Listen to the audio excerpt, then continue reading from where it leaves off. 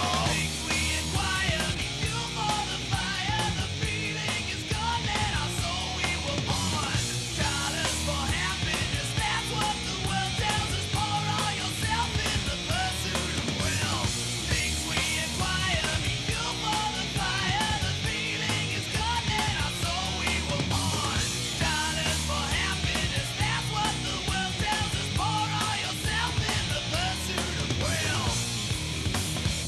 chords in the hearts of the most reckless, which cannot be touched without emotion, even with the utterly lost, to whom life and death are equally jests.